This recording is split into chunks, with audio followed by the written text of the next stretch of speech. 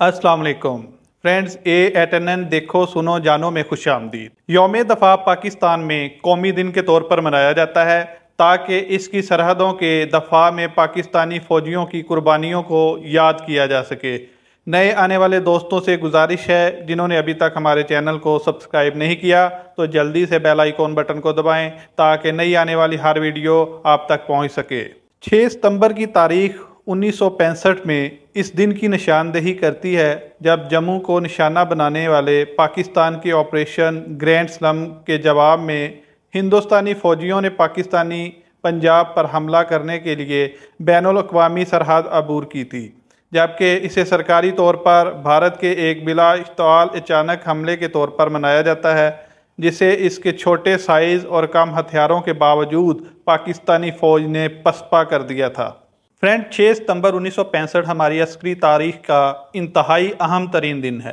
ये दिन हमें जंग सितंबर के इन दिनों की याद दिलाता है, जब पाकिस्तान की मुसल्ह अफवाज और पूरी कौम ने भारतीय जारहत के ख़िलाफ़ अपनी आज़ादी और कौमी वकार का दफ़ा किया था।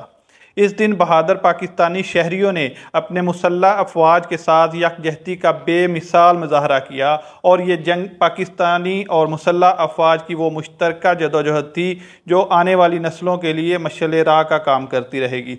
छः सितंबर उन्नीस सौ पैंसठ की सुबह भारत अचानक पाकिस्तान पर हमला आवर हुआ। इसका इरादा था कि वह सुबह का नाश्ता लाहौर के जिम खाना में करेगा।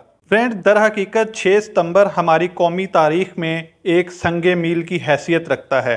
छः सितंबर की याद मनाते हुए जब हमारा जहन इस तारीखी मार्का की वर्गरदानी करने लगता है तो हम देखते हैं कि किस तरह हमारे बुजदिल मक्कार और अयार दुश्मन ने अपनी रवायती बुजदली का मुजाहरा करते हुए रात की तारीकी में हमारे वतन अज़ीज़ पर हमला कर दिया था। हमारी बेदारो ज़िंदा कौम ने इस मौका पर कौमी यकजहती का बेमिसाल मुजाहरा करके दुश्मन के नापाक अजाइम को खाक में मिला दिया।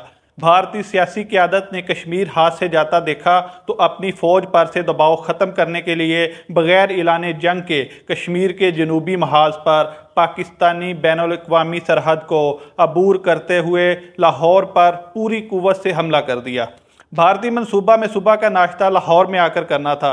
जब हमला हुआ तो पाकिस्तानी फ़ौज और रेंजर्स ने पूरी हिम्मत और जवान मर्दी के साथ दुश्मन का मुकाबला शुरू कर दिया।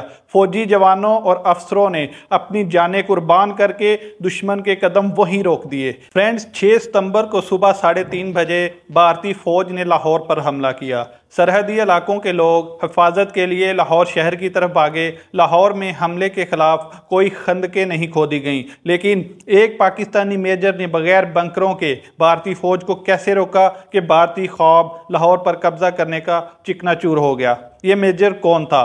जो हाल जीटी रोड लाहौर की तरफ़ मार्च करते हुए बाटापुर के सामने हिंदुस्तानी 15 डिवीज़न का हुआ, वो तारीख का हिस्सा है।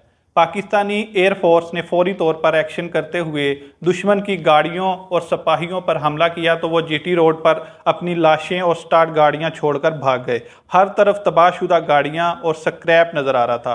पाक फ़िज़ाइया ने इतना शदीद हमला किया था कि इनको सड़क छोड़कर किसी पनाह तक पहुँचने का रास्ता नहीं मिल रहा था। इसी दौरान पाकिस्तानी फ़ौज ने खुद को संभाल कर इतनी बर्क रफ्तारी से जवाबी हमला किया कि भारतीय फ़ौज के औसान ख़ता हो गए। लाहौर के मार्के में ही बरकी के हम मकाम पर हिंदुस्तानी फ़ौज ने सख्त दबाव डालकर वहाँ से नहर पार करने की कोशिश की थी, लेकिन मेजर अज़ीज़ भट्टी की कंपनी ने इन्हें बारूद के शोलों में घेर लिया। मेजर अज़ीज़ भट्टी दम लिए बगैर लड़ते रहे। मेजर अज़ीज़ भट्टी मुसलसल छः दिन और रात जागते रहे। इनकी आँखों में शदीद परेशानी थी, फिर भी वो दुश्मन के ख़िलाफ़ पुरज़म थे। अफसरान ने मेजर भट्टी को आराम करने को कहा और एक और अफसर को भी इनकी जगह फ्रंट पर तैनात कर दिया गया, लेकिन मेजर अज़ीज़ भट्टी वापस आने को तैयार नहीं थे।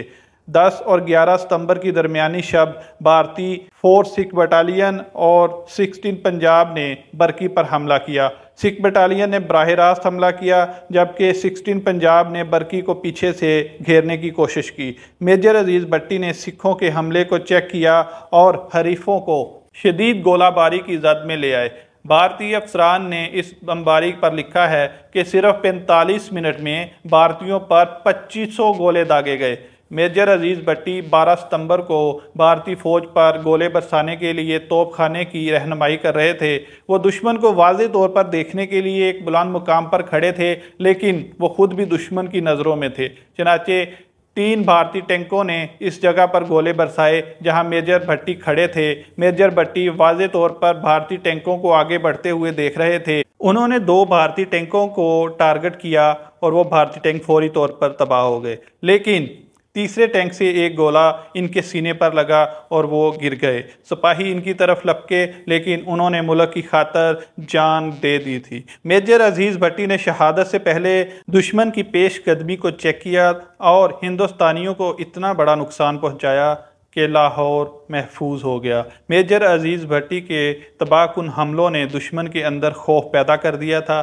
इन्हें पाकिस्तान के अला तरीन एजाज़ निशान हैदर से नवाजा गया। भारतीय अलेवन कोर का मंसूबा था कि फिफ्टीन डिवीज़न अमरतसर वाघा लाहौर महबर पर बरास्ता जीटी रोड हमला करके शाम तक लाहौर पर मुकम्मल तौर पर काबज हो जाएँगे। Seven division Khorala Barki road पर चलते हुए लाहौर पहुंचेगा। इसी तरह फोर माउंटेन डिवीज़न भी खेमकरण कसूर रोड पर एडवांस करते हुए लाहौर पहुंचेगा।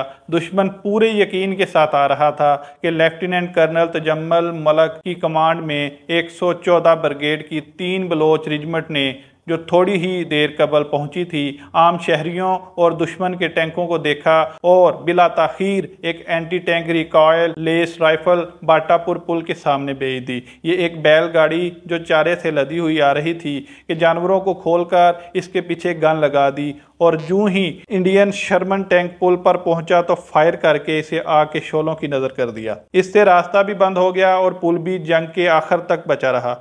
इसी तरह भारतीय फौज ने कसूर पर हमला किया तो पाक फौज के जवानों ने जवान मर्दी से लड़ते हुए दुश्मन की कमर तोड़ दी। फ्रेंड, इसी दौरान पाकिस्तानी फजाइया ने तारीखी करदार अदा करते हुए लाहौर की फ़जाओं में दू बदू जंग में एक नई तारीख रकम की।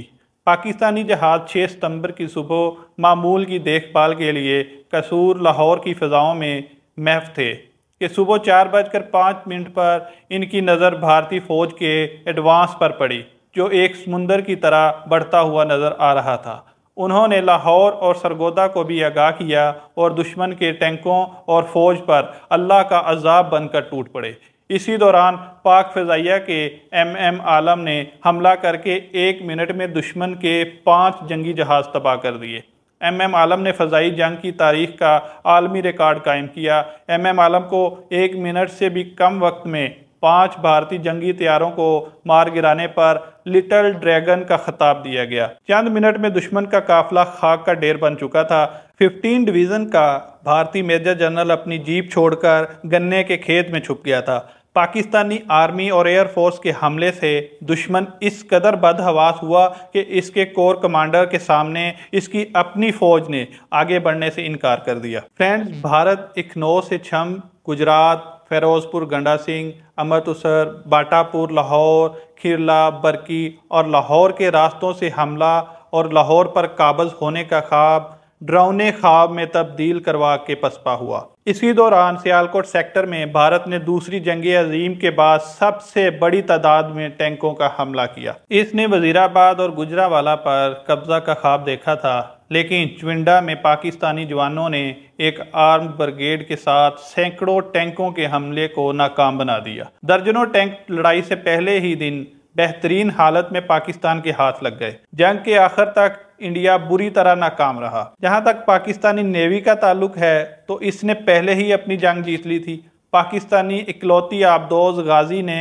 मुंबई की बंदरगाह के पानियों में ऐसा खौफ पैदा कर दिया कि भारतीय बहरिया आबदोज के खौफ से पूरे जंगी अरसा में अपनी पनागाह से बाहर ना निकली, क्योंकि पहले हमले ने ही इसकी मवासलाती ऑपरेशनल सलाहियत ख़त्म कर दी थी। फ्रेंड्स जंग सितंबर के तनाज़र में हम मसला कश्मीर के हल की अहमियत को नज़रअंदाज नहीं कर सकते। पाकिस्तान और भारत के दरमियान ताल्लुक में बगाड़ और इलाके में मुसलसल कशीदगी का वाहद सबब मुतनाज़ कश्मीर है। पाकिस्तानी फ़ौज, रेंजर्स, पाक फ़िज़ाइया और पाकिस्तानी कौम ने अपनी जानों के नजराने पेश करके अपने मुल्क पाकिस्तान का दफ़ा किया। पाकिस्तानी कौम इन शहदा की हिम्मत, जुरत, बहादरी और दलेरी को हमेशा याद रखेगी। भारत जिस पाकिस्तान को अपने तोसी पसंदाना अजाइम की तकमील की राह में रकावट समझता है वो इसे ख़त्म करने में हरगज कामयाब नहीं होगा। फ्रेंड्स, हम इस दिन अपने बहादुर सिपाहियों को खराज तहसीन पेश करते हैं। भारत के साथ सितंबर 1965 की जंग से पाकिस्तान एक मज़बूत और खुद एतमाद मुल्क के तौर पर उभरा, जिसे अपने आप और अपनी फ़ौजी सलाहियतों पर फ़ख्र है। हम एक कौम के तौर पर खड़े थे। हुकूमत की मदद से पाकिस्तान की मुसल्ह अफवाज ने बैन अवी सरहद के पार भारत की नंगी जारियत को पसपा कर दिया। हमने इन्हें जंग बंदी कबूल करने मुजाकर की मेज़ पर वापस आने और एक दूसरे के इलाके छोड़ने पर मजबूर किया। ये यकीनी तौर पर अजमत की सबसे बड़ी घड़ी थी और शहरियों और फौजियों की आने वाली नस्लों के लिए याद रखने का दिन था। अल्लाह ताला हमारे मुल्क को क़्यामत तक कायम दायम रखे आमीन। फ्रेंड्स अगर आपको आज की ये हमारी वीडियो पसंद आई है तो वीडियो को लाइक करें और शेयर करें और इस तरह की मजीद वीडियोस को देखने के लिए हमारे चैनल को सब्सक्राइब करें और अपनी कीमती राय का इजहार कमेंट सेक्शन में लाजमी कीजिएगा। फ्रेंड्स अपना ख्याल रखिएगा। अल्लाह हाफिज़।